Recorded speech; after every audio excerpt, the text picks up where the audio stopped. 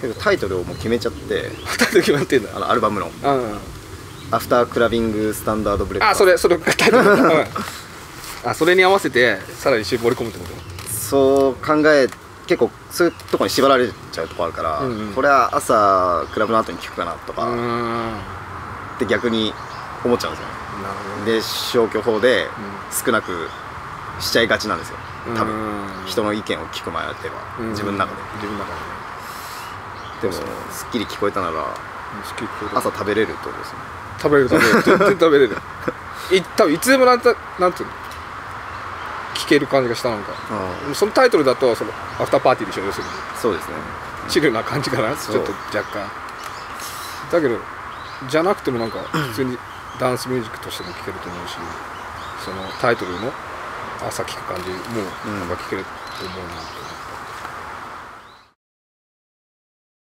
ジャスワンとかはうゼロからあドイツ。あっちなんだ。はい。じゃあなんかあっちのテイストが入ってるんじゃない？じゃそうですね。ベースベースラインとかあはああなるほど。もろ多分日本にいた時は思いつかなかったと思いますあね。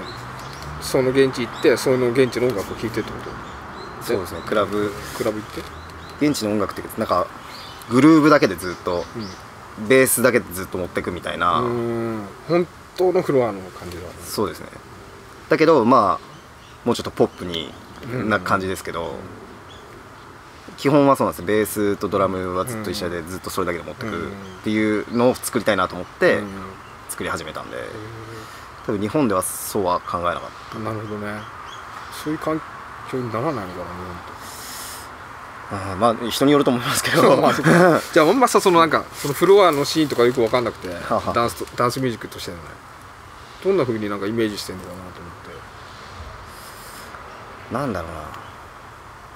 ずーっとフロアいるとなんかまあ音楽を聴いてるじゃないですか、音楽のあの、まあ、ダンスミュージック、うん。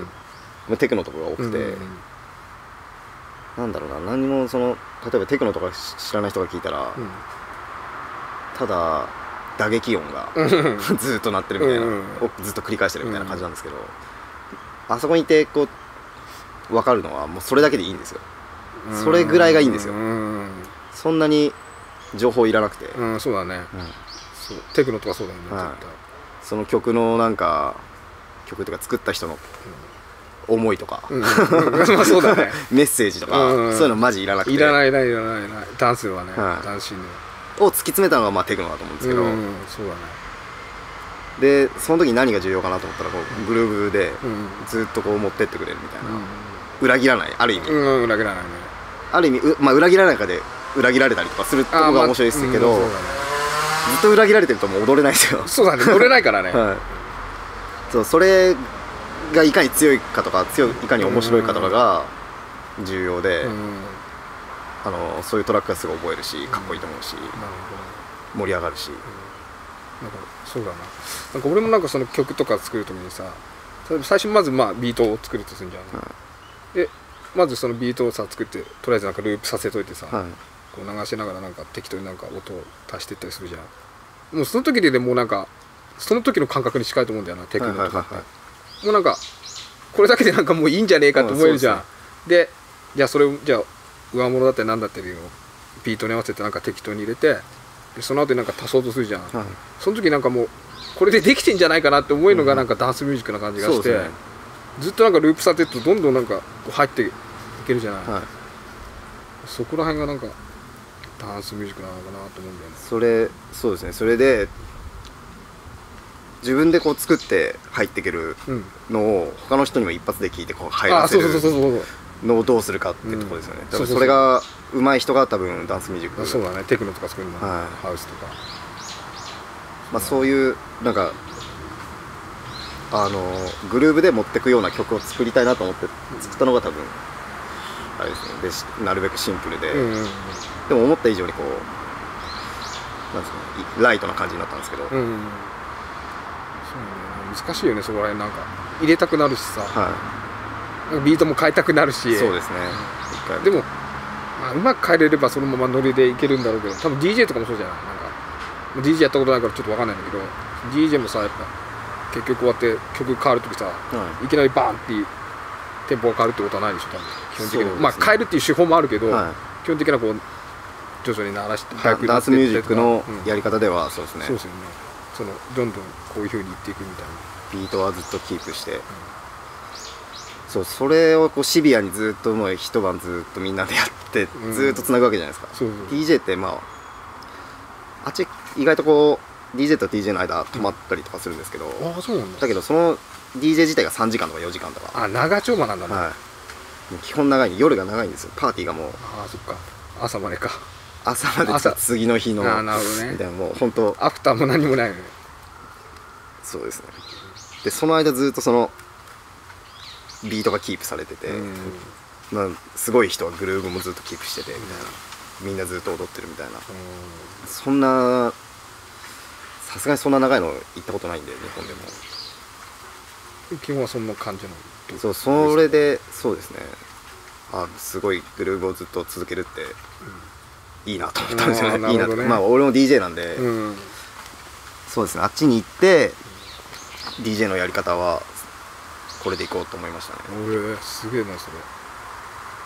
なんかまあ機能ですよね。そのいろんなパーティーやっていろんな DJ いていいと思うんですけど、まあその一晩のルールみたいなのが4つ打ちなわけですよ、うん。ルールとまで、うんまあルールって言っていいのかな。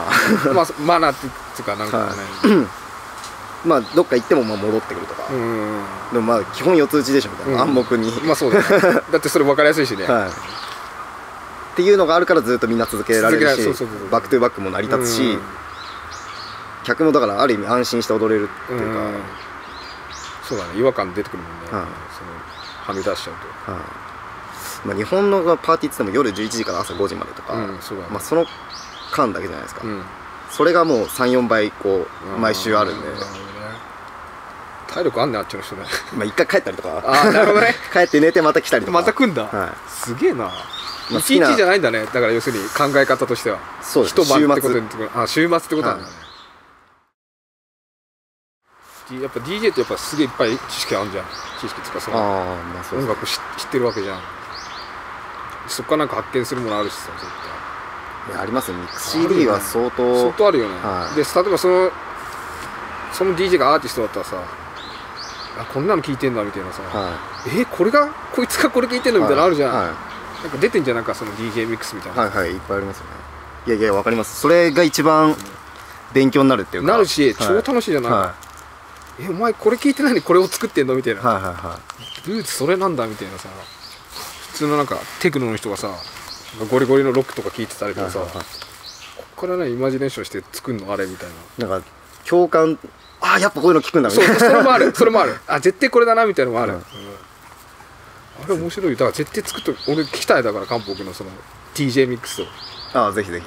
でそれでなんかあこういうのも好きなんだみたいな分かった。なんかなおさら韓国のその作品をさ。はい。楽しめる気がするんだよね。あの聞けますよ。サウンドクラウドで。あマジで？ミックスクラウドでも。あミックスクラウドがあああります。ああるね。まあでも同じ内容です。結構。でもすごいそれも、あのあいざ上げるようなのを作ろうとなると、ん。すげえ考えちゃうんですよね。うん、あーリスト？だったりつなぎだったり。その時のベストを作りたいってどうしても思っちゃい作りたい。思っちゃうんですよ、うんでも、まあ、時間の制約もあるし、うん。その相性の制約もあるし、うん。ですごい考えて曲順とかもう本当にあれさ DJ やるときってさ基本的にさじゃあ1時間ありました。ってなってさ何曲ぐらいまあ何曲ぐらいで？大体計算するのは20曲。20曲なんだ。でも多分20曲はなんだかんだ結構多いかな。1個それさ3分計算する。20分をさ絞るまでにさ候補がいっぱいあるわけじゃん。はあれってどんぐらいな感じでやってんの？いいやなんとも言えそのなんて多いうの？分その用意したもんからさフロアに行ってさ変わるパターンもあるじゃん。っあありますね。てことは20曲いさらに用意してるわけじ一応レコードバッグ1個って考えててゃんあれ何枚入る60枚ぐらい。ですの60枚か。でそのうちで使うのは多分、まあ、1時間だとしたらうん。3分の1、3分の1かででも2時間だとしたら半分以上は使いますよね。うんそうだね。だから40枚40枚で本当に人によると思うんですけど、うん。なんか順番は決めてないです俺は。あ決めてないんだ、はい。ただ流れとかも決めてないってこと？流れは考えます。流れ考なんかちっちゃいグループが何個かあるって考えてて、まあ、56曲ぐらいの56曲だと3分15分ぐらいですか。えてるぐらいの何個相性のいい塊みたいのが何個かあって、ABCD ぐらいまであるとするじゃないですか、それを組み合わせてとか。で C から D、D は A にもいけるけど B にはいけないみたいな。あなるほどね。相性の問題ね、はい。うん、つながりの問題とかね、はい、でもまあもっと細かく D の中のこれは A とああなるほどな。はこの真ん中は A にはいけるみたいな、はい。でもケツの曲は A にはいけないみたいな、い、そういう感じでやってんだ DJ の人って。まあそれのもっと有機的な,、ななんともこうなんか言えないんですけど、あともっと曖昧なんですけど、まあ、この流れでいったら次はこっちの方向行けるしこっち行ったらこう行けるとか、でもここで下手にこう行っちゃうとそんな在庫ないとか。そう裏が続かないみたいなね。そうそう。そういう D, D 足りねえみたいな感じ。そうですね。あそういうのをその場の雰囲気とかお客さんとか見て。ーそうだよね。変わるよね絶対ねああもうこれこのゾーンは早めに切り上げようとか。まあそんなうまく計算通りいくことはないですね、うんいやないよね絶対ね、現場の雰囲気もあるしね、でも自分も言ってて思うのは、聞いてる人はそんな気にしてないというか。ああ気にしてないね。だって分かんないもん。だって DJ がさあ今 D かけてるとかさ A かけてるとか分かんないじゃん。それはもちろん分かんない上に、あのその DJ がやりたかったこととかも、まそんな関係ないかったりするから。うんうんうん関係ない、う。んそうなんですよ。それいつも面白いなと思って。そう DJ もすごい こうフル回転してるわけじゃん、はい。でまあお客オーディエンスはさ、もはい、うそういうの分からないでこう踊ったり楽しんだりするわけなんかライブとかと違うのはもう途中でどっか行ってもいみんなどっか好きかって言ってるんで、うん。音楽聴いてない瞬間とかもいっぱいあるじゃないですか。酒買ってたりうん。便所行ってたりうん。話してたり、うんでいつ来るかとかも読めないし、うん。すごい流動的なんですよ流動的だね。で DJ も DJ でなんか全部シャットダウンして自分のことをやってるってわけでもなくて。お酒飲みながら。お酒飲みながらタバコ吸って友達とか来たら喋るし。なんかこうやってやってる DJ の人ね。でそういうのも含めてやんなきゃいけないから、うなんかそうですね。そんなちゃんと考えてもその通り絶対いかないんで。ね。なんかショーケース的な DJ だったらまた別ですけどあなんかステージにこうあなってて、はい。うん。スタジアムでやるみたいな、はい。うん。そうなると話は別なんでしょうけど。あれもだって制約とかあるじゃんなんか何の曲かけろとかさあるんですかね。多分あるんじゃねえかなと思うんだよな。だってすんげえキャラじゃんあの人たち。そうですね。本当ですよねで USB だけ持ってきてねペッてお前何をしてんだって曲流れてひたすら踊り狂ってるじゃん。あのトップの DJ だったらスタジアムでやる人たちってさ。あのそうですね。アメリカの EDM の DJ とか。なんだろうその射程がやってるみたいなさ。お付きの人が。見えないですからね、うん。何やってるか。そういう DJ は興奮しないですね。そうだよね多分多分その人は本当にこう決まってると思います。うん。2時間何2時2間時間のねショーケースのね、うん。まあでもそれも DJ からでもその客を盛り上げるって意味では、う。んまあた何かをくれっていうものを出してるわけだから、うん。まあそういうところにはいかない。まあまあ基本的にはねそうだはい。ね、音楽ってよりそのパーティーを楽しみたいって人たちだと思うんで。ああそうだね。音を聞くってことじゃないもんね、ここでこのハイハットがとかそういう人たちじゃないじゃないですか、うんじゃない。 one two three わあそうそうそうイエーイみたいな感じ。いやいやパーティーはいろいろあるんですね。あるね。ちょっとそれはちょっと理解できないもんな俺も多分そういうの。まあそうはそうそうはできないですよね。決まったやつを演じる感じとかは、まうん。嫌だよねあきっとできないと思う。誰かやりゃいいしって、はい。他の人はできない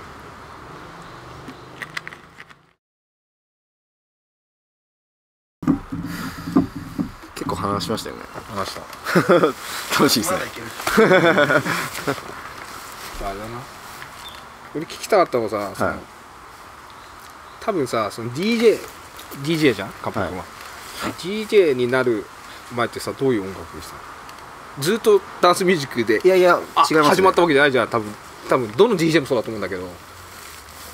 普通にあのストーンローゼズとか UK ロックがうん多分中学の時にこう外国の洋楽、洋楽を聴きたかったんですよ、うん。知りたかったんですよ、うん。何でもいいから、何でもいいからね。そんでえーっとその前に多分小学校の時に、ドラマの主題歌の、未成年の主題歌がカーペンターズカーペンター。ズトップオザワールド。カーペンターズ青春の光と。うん。うん。そうそうそう。それであの興味を持って、うんうん。多分ベストを買ったんですよ。カーペンターズのね。はい。未成年それね俺が中学の時だ多分それ。そうですね。94年とか5そう年とか。そうそう中2ぐらいかみんな周りもそその感じでカーペンターズを買ってあ買ってました？うん。そうそう。で買って英語かっこいいなと思って。かっこいいってなるよね。今でも好きですけど、うん。でなんとなくイギリスの音楽っていうのはいいんだろうなと思ったから、うんなるほどね。国で聞いたんだね。そうですね、まあ、ビートルズとか普通にうそういう古いのは持ってるじゃないですか親が、んうんうん。ローリング・ストーンズとか、うんでもちょっと古すぎるから、もうちょっと最近のやつが聞きたいと思って買ったんですよね。UK ロックですね、ローゼス。プライマルスクリーム。プライマルとかでもダンダンスミュージックとしては聞いてなかったその、まあ、プライマルスクリームでもダンスミュージックって言われてるような、うん。ディスコみたいなやつとかはい、入ってるアルバムでしたけど、スクリーマデリカうんとか、あのもっと歌詞とか読んでましたし、うんうん読む。もっと普通のポップミュージックの演奏してね。はい、聞いてましたね。で、まあ、その辺大体雑誌読んであの次のアーティストを探してうん。掘ってみて、うんダメだったらうん。買わないで好きだったら掘るみたいな、で結構聞いたんですけど中学校そういう話できる人いなくて、うんうんそうですね。で高校入っているかなと思ったらそんないなくて。あ そう 結構恵まれなかったね。そうですね。先輩とかもいなくてその教えてくれるような、うん俺の場合なんか周りもいたし上の人もいたしなんあか好きな音楽似た仲間がいっぱいいたからそのお互いなん友達同士でさ掘り合ってさこれあいいよこれいいよとか聞いて言ってなんか音楽の知識高めていってたかあ羨ましいですねでも高校でもうどうしても話したいから。ら話したいよね。すごい話したいよね話した話したいから、その自分の持ってる音楽を MD に、うん、うん、してミックスね、はい、であげたんですよ。うん。うんでこう布教してったんですけど、その時にあの俺の MD デッキがパナソニックのうん。ちょっと編集とかできるやつだったんですよ、うんうんで曲間を削ったりとか,、まあ、何秒からスタートするとか、うんうんうんそういうのちょっとできたんですよ。だから空白消したりとかシーン出して、フェードはできなかったけど、うんああなるほどね。ぴったり始まるとああかできたどんでどんでまさしく DJ の始まりじゃんそうカットインでできたんですよ、おそれであ楽しいと思って、うん。でこいつに何でもいいですよ。例えばストーンローゼズを教えたいけど、うん。なんか秋っぽそうだなみたいな、うん。グリーンでししか聴いてない。ああなるほどね。だからポップな、うん。分かりやすそうなうん。曲だけを初めの方に入れて、うん。でも本当に聴いてほしいかあら。徐々に徐々にそうそうそう。初め聞かせといてみたいなね、うん。いきなりローゼスだといやいいやってなるんで、はそういうその人は多分、はい。そういう感じでもう授業中とかもずーっとその曲順考えてすげえすげえいい学生じゃん。すげえいい学生じゃん。曲順をこう考えて、うん。だからそうその時から結構自動的にその曲順とかうん、うん考えてましたね、なるほどね。で、まあ、DJ はもちろん何してるかまだ知らない。知らないよね、であげるの好きでなんなら解説とかも書いてたかもしれない、あライランノート最高じゃん。最高じゃん。まあ、ノノート1枚にこれはこれでみたいな。そうそう。こういう、まあ、90年代初めの音楽でとか、そういうのやっててで DJ っていうのを知ったのはなんかね全然今思うとつまんないパーティーだったんですけど、ん。大学生がやってるようなクラブイベントがあったんですよ、うんうん。渋谷の。うんシフティっていうすごいちっちゃいもしかして今でもあるかもしれないですけど、うん。明治通り沿いのすごいちっちゃいとこで。でそこに連れてかれて高1の時に。で DJ やってていろいろかビースティーボーイズからそのアメリカレッチリとかそういうのもかけてたしグリーンデーみたいなのもかかるしレディオヘッドとかもかかるしみたいな。うん流行ってるのがとりあえずかかるみたいな。ね。アンダーワールドとかもかかるし。でその DJ の仕組みを初めて見て、うんあそうそういうことかと思って。2個あっ いてやそうこれとこれでね。なるほどと思っフェーてドもできるしね。そうそうそうそう。あ重ねられるんだと。重ねてね。そう。でもこれはいいと思って欲しいなと思い出して、うん。で興味を持ち出したんですよ。クラブミュージック。でもでその後リキッドルームとかも当時入れて若いのに、10 16歳とかでも、なんか ID とかああなくてそうないよね昔ね。新宿。の床が揺れるリキッドルームでに行ってで初めて多分ハウスを聴いて、うんでその時はもう全然分かんなかったです。あの、どこが盛り上がるとこなのかとか、やっぱもっとロック脳じゃないですか。そうだねロックのロあのポップミュージックのうん。サビがあってとか、うん。そういうのないじゃないですか、それは意味わかんなくて、その時はあの楽しめなかったんですけど、うん。うんただ曲と曲を合わせてミックスしてるっていう技術、うん。マジすごいと思って、で知ってる曲同士だったら、うんさらに面白いじゃないですか、うん。だんだん行って覚えてきたんで、うんこの曲かかるなみたいな。でそのこの瞬間マジ新しい曲じゃないですか。すげえと思って。でそれがそうですね感動したところですね。だから多分ロックとかでそういうのは難しいから。難しいね。だってまあ基本的になんかあるじゃん歌感想歌みたいな。さで奇跡的にまあできる曲とかもあるのあかもしれないけど。うん。でもまあハウスはそういうミックスすることを考えられて作ってる、うん。あるからこれをやったら楽しいかなと思って、だからまあいろんな音楽好きでしたけどヒップホップとかももちろん、で DJ を始めたのはハウスからなんですよ。そうですかなんだ。ハウスのレコードを初めに買い出して、うん。まあ、全然知らないで適当にユニオンで買ってたんですけど、うん。それが始まりですね。あのターンテーブル買ってそうミキサー買って。ディスクにも行ってみたいな。ディスクに行って。ああいいね。でもそれは大学入ってからですあターンテーブル買えるようになあってあなるほどね。一人ダブったやつが同学年でいて、うん。でそいつ DJ だったんですよヒップホップの、うんうんでそいつがおいろいろ教えてくれて、ん。高校の時に。それが始まりです。でレコードだけ買ってそいつの家行ってうん。やらせてもらって、ああそれで覚えてきたんだそういうスタートです、うん DJ でももともとあれだね DJ 気質だったんだねじゃあ。そうですねなんかだってその MD とか作る時にさその楽しみをがすごい好きだってなったうんわけじゃん。と思いますね。だからそのミックス CD とかを作るのが好きっていうのもそうだし、あのその時はプレイはしてなかったんで、うんうんうん。そういう編集もまあ好きになる、うん確か確かに楽しいよね最初。例えばその周りにいなくてさ、俺のこの好きなの分かれよみたいな。うん、うん、いや本当不況本当俺が喋りたいだけで。そうそう俺もそうだった。俺もなんかミックステープとか作ってたけどよく、はい。まあその時はまあ周り大体同じの聞いてたし好きなの聞いてたんだけど、まあ、もらうのも嬉しいし楽しいしさ、うん。知らないことで曲とかあるじゃん、はえこれ聞いてんの？みたいな。ちょっと嫉妬するじゃん、は 俺よりすげえこいつみたいな。さでそれにさアンサーするためにさもっと不敬の掘り込むみたいなさまだ理解してないのに。そうそうそうそう。全然わかんねえの。初めて買ってなんかジャケットとかでも買うじゃんやっぱ、はいはいはいでさなんかあのディスクリーンとかよく行くじゃないやっぱ、はいはいはい。でさ知らねえの散々買ってさ散々失敗するんじゃん。いやーしましたね、なんだよこれみたいな、まあ、それも放り込むわけじゃんそこに。はい分かってねえまだ理解してない。いいか分かんねえけどまあいいんじゃねえかみたいなさ。楽しいですね。でそそうですね。それが多分 DJ の始まりかもしれないですね今思うと。そうだなんか音楽好きなのになんか演奏したいとか歌いたいとかって欲望あんまなくて、うんまあ、友達いっぱいバンドやってるじゃないですか、もう当時はみんなブラフマンだったから、うん全全バンド。そうブラフマンじゃないけどそういう系の。うん。当時流行ったやつ。メロコア、うんメロコはね。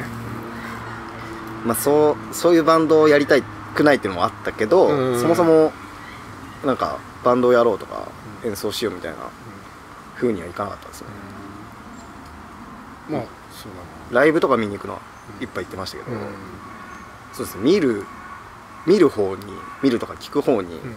行ってて頭は。うん、うん、俺もずっとそうだった。あそうなんですか、バンドやると思わなかったもん。あそうですか。ん。まあ、バンドもちろん好きだし音楽聴くのも好き好きだし。だ気質的には多分似てると思うんだよな。DJ 気質だと思う。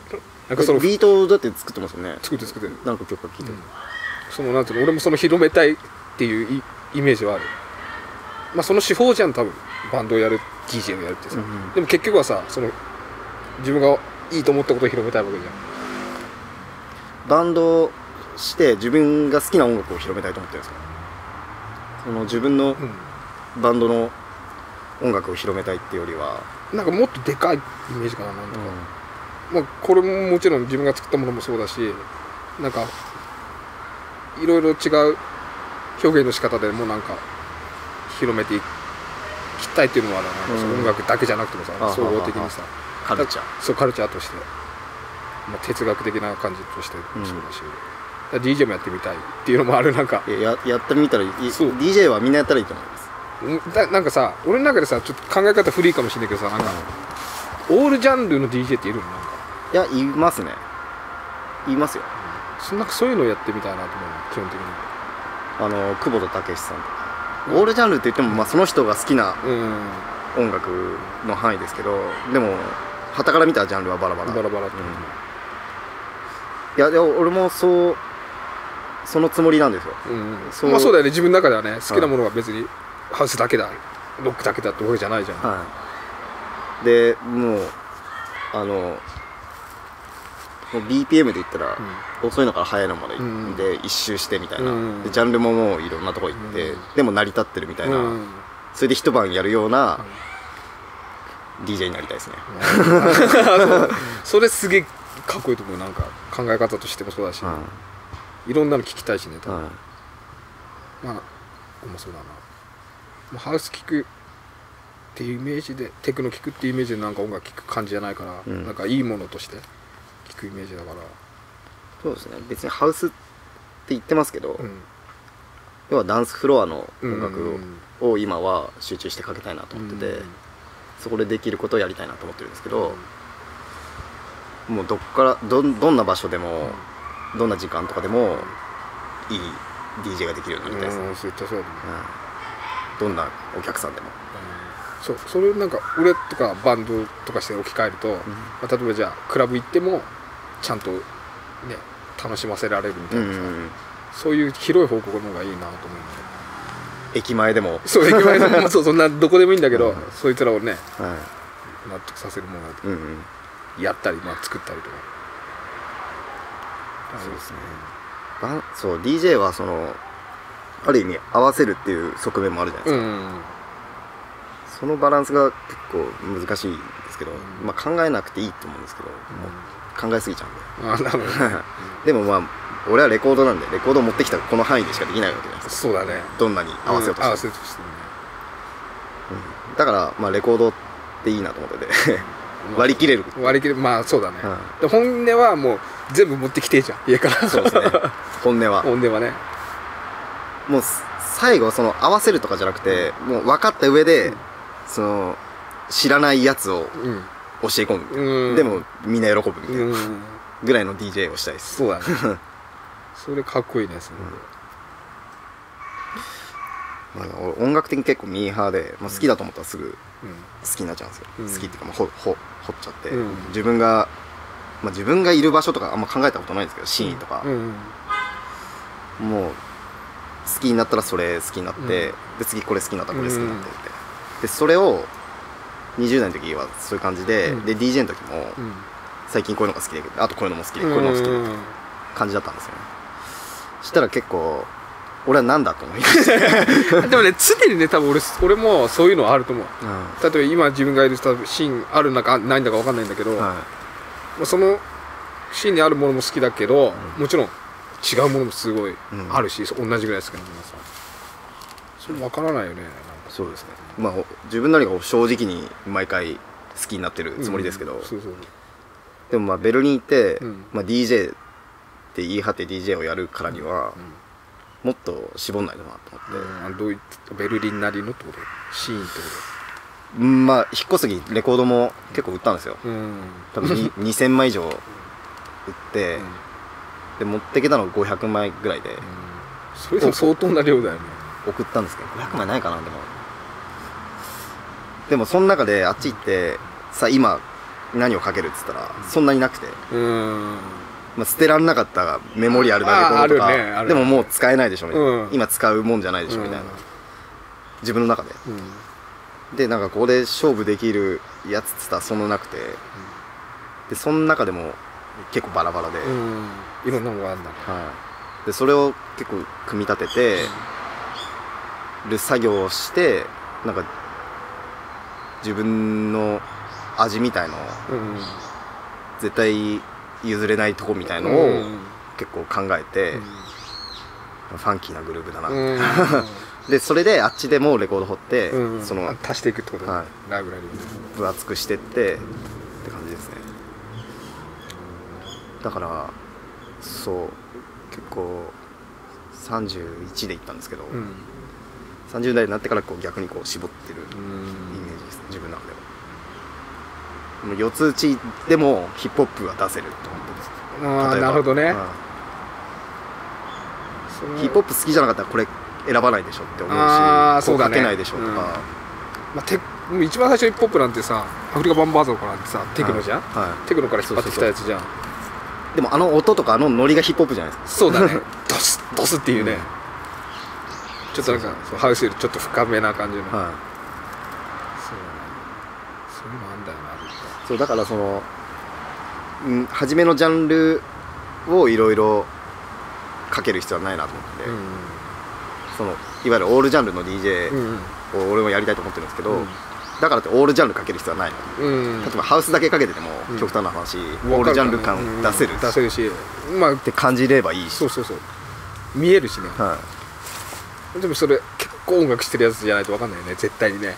これ聞いてああじゃあこれもあれ好きだなっていうのって分かんないじゃん多分。い、先は長いです、長いね長いね。先は長い。ね。長期だね。はい、いやーでも DJ はむずいっす。深いね。深い。よね、はい。そう考え方深いと思うすごく哲学だもんだってそれって、うん。単純じゃないよね絶対。聞いてもらってまあ多分その目指してるとこはそれじゃんなんか、はい。なんつうの。そこまで分かるみたいなさ。その聞いてくれる人も。うん。まあ分かんない人でも楽しければいい、まあそう。そそこが最低ラインだよ多分、はいそこはまあ下回っちゃったらやっぱ DJ じゃないから絶対ね。でそのプラス、うん。じゃあなんでそうなってるのかっていうのも分かってもらいたいってことでしょ。そうですね。でそこまでみんなが感じてくれるぐらい表現力できたらあなるほどね。多分俺は食える DJ になってる。なるほど。すごいと思うそれは。価値価値ある価値がある。DJ うん。そう。そうだね。その受け手もね。そうだよね。受け手の教育ってことだよね。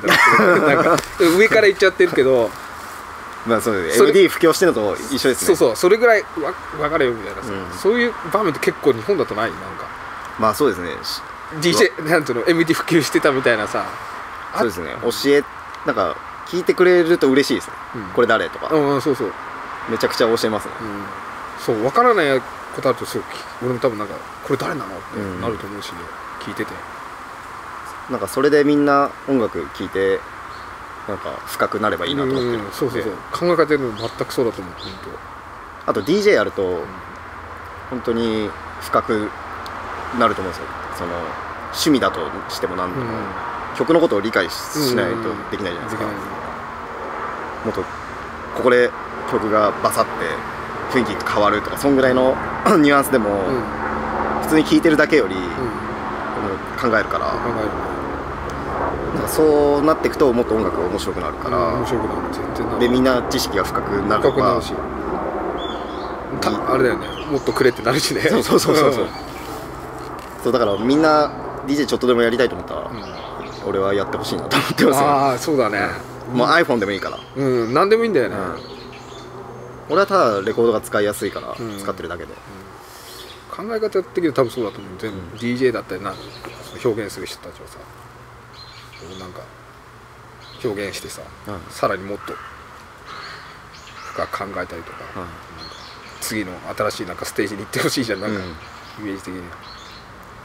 それはかっこいいね。で DJ 始めてください。DJ やりたい。すげえねなんかね俺がなんかその DJ なんかとっつきづらかったのねだ自分がやるとして。はいはい。表現の仕方も分かんないし、まあ、その技術的なことも分からないし、うんうん。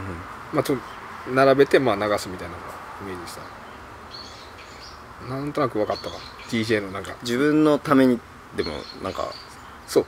出勤時間の1時間分のうん。ミックスとか、うん。そあそういうのやってるなんかそのリストとして、はいはいはい。好きなこういうふうなのがっていうイメージのは聞く方でもやってるかな。でもこの曲のこのアウトロは別にいらないなとかなったらああるあるあるある。もっと詰めれるじゃないですうん。そういう作業ってことね。か そうです。それをライブでこうやれば。ああなるほどね面白いね。そしたらミックスしたくなるわってなる。もうそしたらもう立派な DJ です DJ だよね、うん。なるほどね。うなんか DJ のなんかあれがなんとなく分かったうん。イメージ的に。いや始まりはもうそれでしかないじゃそうだよね。ミックステップだよね。ひたすら、ミックステップいっぱい作れた話だよね多分。修行としては。すげえすげえためになったわ。なんか DJ できる気がしてきた。できるできる。多分マインド的には多分 DJ なんだよ多分、はいはいはい。こうこれすげえいいからこれ聴けよみたいなさ、でそれを多分技術的にできるのが DJ じゃん。そうですね。マインドはあるからさこう来てこう来るみたいな。うん。なんか盛り上げ方とかそのそう曲ね。なんですね。これを一番聴いてほしいためのためのね。うん。うんうんなるそうそうそう。ほどね。なんかややってみるわ。ぜひぜひ。そのミックスをいっぱいしてみるわ。なんか1時間でももう30分でも初めは。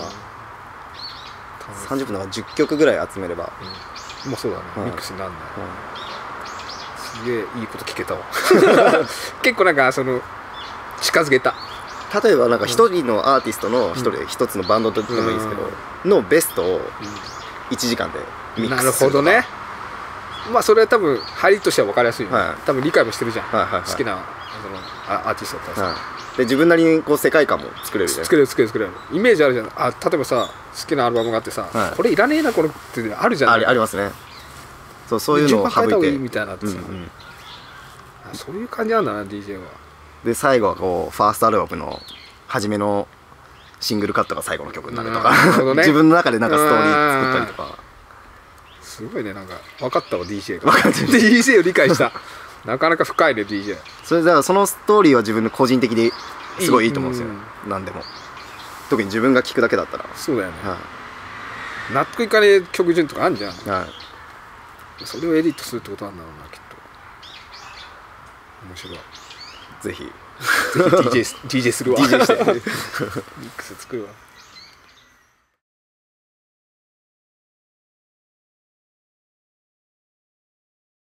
カーペンターズ持ってたし。な？あのちょっと分厚いケースのやつ。そうそう。そう2枚組のやつ2枚組のやつスのやつ。網羅されてるやつ。網羅されてる。あれだって地元の商店街の CD やるかと あ俺も俺も俺も。そう。あのねあのシートがついてくれる。そうシート出てきてきてきてシートついてくれてた。危ない？シートシートあそれ言えよかった。それ言えよかった。忘れて今ねシートつけてくれるところ。シートつけてくれるところ。優しい CD やそうシートつけてるシートつけてたわそう